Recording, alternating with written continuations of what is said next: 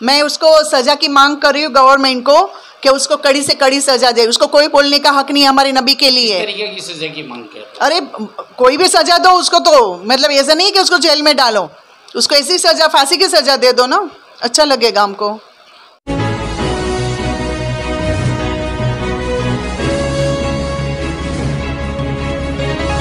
नमस्कार, अस्सलाम वालेकुम। मैं हूँ अब्दुल समद शेख, आप देख रहे हैं 24 फोर यस न्यूज़। आइए देखते हैं मुंबई समेत देश की तमाम खबरें। हेलो फ्रेंड्स, मैं हूँ अब्दुल समद शेख, आप देख रहे हैं 24 फोर यस न्यूज़। आज मैं आया हूँ स्टार एंजल फाउंडेशन के चीफ साइस्ता लकड़ावाले जी के ऑफ़िस में, जो मालवनी मलाड वेस्ट में हैं। आज हम उनसे बात करेंगे मोहम्मद पैगंबर सल्ला वसलम के शान में नुपुर शर्मा ने जो गुस्ताखी किया है, जो बीजेपी की प्रवक्ता थी, उनको निलंबित किया है बीजेपी ने, लेकिन उस पर कोई कानूनी कार्रवाई नहीं हुई है, जिससे मुसलमान मुसलमान आहत हुआ है, सिर्फ़ हिंदुस्तान के मुसलमान आहत नहीं हुए हैं, इससे तकलीफ़ नहीं हुई है, जबकि पूरी दुनिया के मुसलमानों में गुस्सा पाया जा रहा है, गुस्से की लहर पाई जा रही है, और जो नबी के फॉलोवर हैं, उसमें बहुत गुस्सा पाया जा रहा है। हिंदुस्तान के प्रति बाहर मुल्कों में भी गुस्सा पाया जा रहा है कि भाई नबी किसान में एक औरत ने जो आपकी प्रवक्ता है, बीजेपी की, उसने गुस्ताखी किया, और अब तक उस पर कोई कार्रवाई नहीं हुई है। तो हम बात करेंगे मैडम साहिस्ता लकड़ावाले जी से लकड़ावाला जी से जो इस मुद्दे पे बात करने वाली हैं नुपुर शर्मा जो गुस्ताख रसूल है। तो आइए हम उनसे बात करते हैं मैडम साहिस्ता लकड़ावाला जी से। मैडम स्वागत है ट्वेंटी फोर ईयर्स न्यूज़ में। शुक्रिया। आज मैं फिर से आपका सामना कर रहा हूँ। जी। मैडम बीजेपी की प्रवक्ता नुपुर शर्मा ने मोहम्मद नबी के बारे में जो गुस्ताखा गुस्ताखा अल्फाज यूज़ किया है गुस्ताख रसूल का काम किया है। जी। और उन्होंने गुस्ताखी किया क्या कहना चाहेंगे उनके बारे में देखिए ये तो कहने की वाली बात नहीं है कि मैं बहुत अच्छी से स्टाइल से आपको इंटरव्यू दूँगी और बहुत कुछ बोलूँगी। ये कड़ी सी कड़ी निंदा कर रही हूँ मैं उस औरत की जिसको इतने अ, इसने ये बोला है ना तो मुझे पहले तो मुस्लिम समाज इसको पता नहीं गुस्से में क्यों नहीं आ रहा है? मुझे तो समझ में नहीं आ रहा है कि किस रीत से उस औरत ने हमारे नबी के लिए इतना वर्ड्स बोल दिया। उसको कड़ी से कड़ी सजा तो दूर उसको ऐसी सजा मिलनी चाहिए ना। मैं उसको सजा की मांग कर रही हूँ गवर्नमेंट को कि उसको कड़ी से कड़ी सजा दे। उसको कोई बोलने का हक नहीं है हमारे नबी के लिए। तरीके की सजा की मांग कर अरे कोई भी सजा दो उसको तो। मतलब ऐसा नहीं कि उसको जेल में डालो। उसको ऐसी सजा फांसी की सजा दे दो ना। अच्छा लगेगा हमको। आप इस सिलसिले में चौकी में लेटर दिया है पुलिस चौकी में कोई प्रोटेस्ट करने देखिए मैंने लेटर कहीं भी नहीं मैंने कोई मेरे लिए? आपने कोई प्रोटेस्ट किया है आपके तंजीम की तरफ़ से संस्था की तरफ़ से? नहीं नहीं नहीं किया है क्योंकि अभी मैं काफ़ी अपने मसले के लिए बिज़ी हूँ लेकिन मैं ज़रूर करूँगी। मैं ईमेल आईडी द्वारा या फिर मेल द्वारा लेटर द्वारा कहीं भी ये मांग डिमांड ज़रूर रखूँगी कि उनको सज़ा दी जाए। ऐसा थोड़ी होता है कि कोई भी कुछ भी बोल के निकल जाता है कभी मस्जिदों को लेके कभी नकाब को लेके अभी मुसलमानों पे तो काफ़ी दो साल से हो रहा है ये सब कुछ। अजान को लेके बीच में हुआ था कि तीन तारीख को हम माइक उतार देंगे राज ठाकरे जी ने बोला था लेकिन माइक तो नहीं फिर उतार पाए थे। तो अभी नुपुर शर्मा आ गई ना ये। तो बीजेपी ने तो उनको छः साल के लिए निलंबित कर दिया है पार्टी से निकाल दिया है उनको प्रवक्ता भी अब नहीं रही तो, तो उसको बोलने का हक ही नहीं ना वो हमारे नबी के बारे में क्या जानती है? वो औरत क्या जानती है हमारे नबी को? हमारे नबी हमारे आखिरी नबी है। ठीक है? और हमारे मुसलमान उठते सोते समय जब हम अल्लाह का अल्लाह का जब ज़िक्र करते हैं तो हमारे नबी का भी इतना ही ज़िक्र हमारा नबी का मर्तबा वो क्या जानेगी कि क्या है? नुपुर शर्मा ने मैं सुना हूँ कि माफ़ी मांगा है। माफ़ी मांगने से क्या होता है? पहले गुनाह करो फिर माफ़ी मांग लो।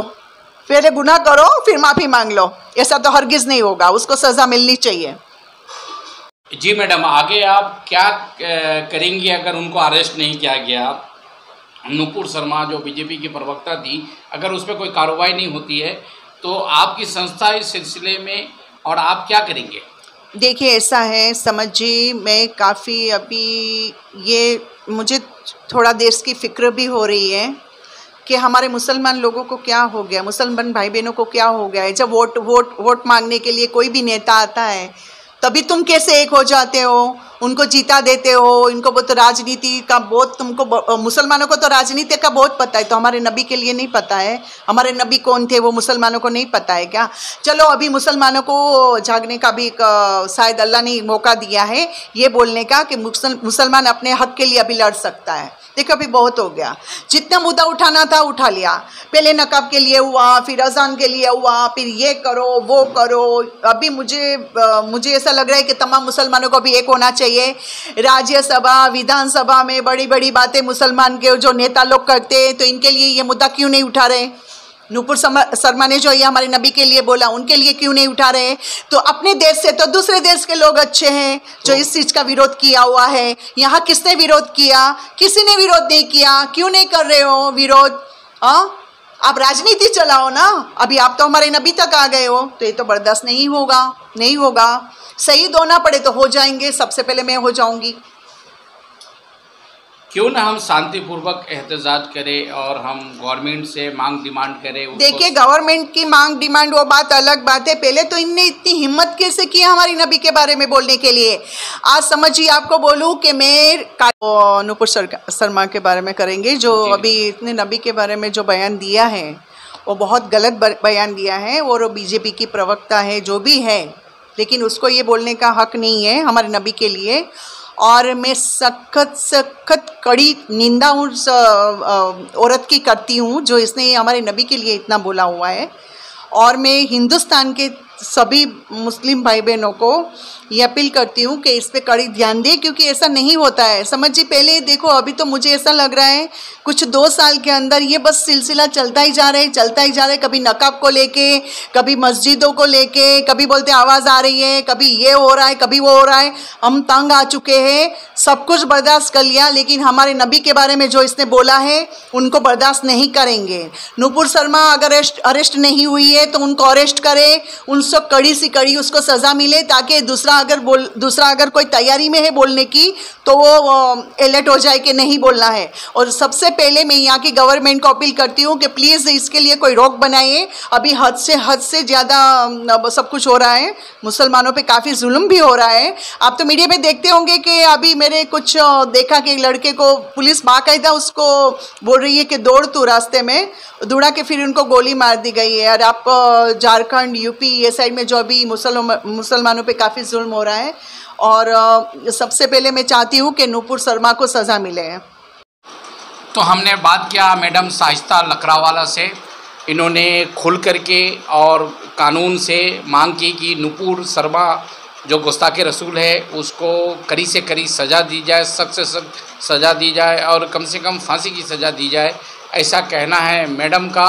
और इन्होंने आम मुसलमानों से, आम हिंदुस्तानियों से अपील किया है कि इस पर शांति बनाए रखें और जो भी होगा हम कानून से करेंगे। कानून का हाथ में नहीं लेंगे और हमें हिंदुस्तान के कानून पर भरोसा है और गवर्नमेंट सख्त से सख्त और जल्दी से जल्दी सज़ा दे। कैमरामैन सादाब के साथ अब्दुल समद शेख, मुंबई।